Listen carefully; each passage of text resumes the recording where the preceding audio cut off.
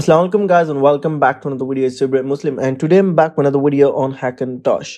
So this video is going to be very interesting and very helpful.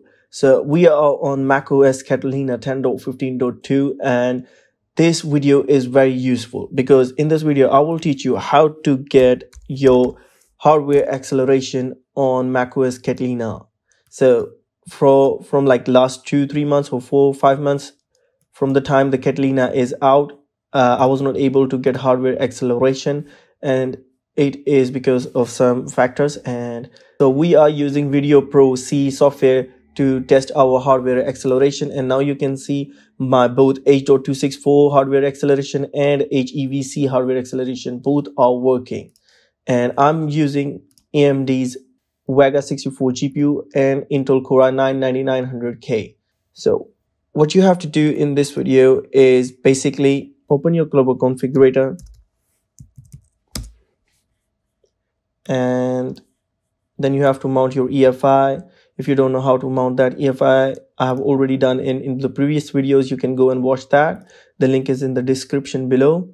So we have to mount our EFI and click our config.plist here you have to patch APIC auto merge fix header halt enabler and disable Apple system power management after doing so, if your system have Intel GPU, then you have to use this patch, change GFX0 to iGPU, change PEGP to GFX0. So both of these patches are available here. You can select them and the, remember the sequence. The sequence is very important. Then here you have to go to the SM BIOS. My SM BIOS is removed right now because it's confidential and everyone should have their own BIOS, SM BIOS uh, details. It's also hard to enter, so never mind. No one literally copies that, but there are a few stuff you have to hide, so the ones can't use it. So serial number. So what you have to do here is if you are using Vega GPU, which is Vega 64, Vega 56, Vega 64 water cooled, or AMD uh, 7 processor, or AMD 7 GPU, or AMD RX, AMD 5700 XT or AMD 5700, you have to use iMac Pro. It, this is what you have to do previously, but now you have to use the latest Mac Pro 7.1. So basically using the Mac Pro 7.1 will help you fix the hardware acceleration on your system if you are using Vega GPUs or even AMD RX GPUs. After that, you have to also select the memory channels. This is very important. If you don't select them correctly, you might get a crash and the number of slots your system have.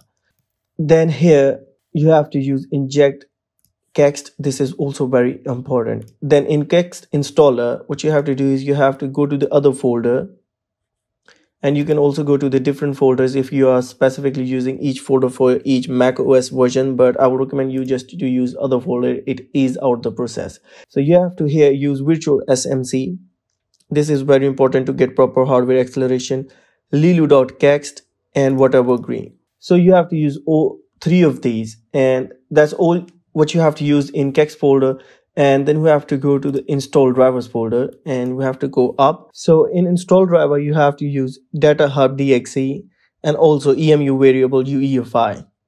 So both of these drivers you have to use to get your hardware acceleration and so that's all you have to use to get your AMD Vega GPUs and AMD RX CPUs hardware acceleration working on your Hackintosh. So this will also improve your system performance a lot and it will help you encode H.264 and HEVC formats a lot faster. The hardware acceleration can increase the encoding and decoding speed up to 45 times. So it's really great to get that thing fixed. So that's all for this video guys. Thanks for watching. Hope you liked it and hope you enjoyed it. If you still have any question query, let me know in the comment section below and I will try my best to answer them as fast as possible. Also, you can contact me on Patreon if you need any personal support and you can support me there if you like to. And if you support me on Patreon, it helps us a lot and it keeps our team running and it's great to have you on support team. There are also a lot of different benefits we provide to our Patreon supporters. So if you want to know them, go to the Patreon page and pledge your support. So that's all for this video, guys. Thanks again. Thanks for watching. I hope you liked it. I hope you enjoyed it. And until the very next video, please take care. Allah Hafiz.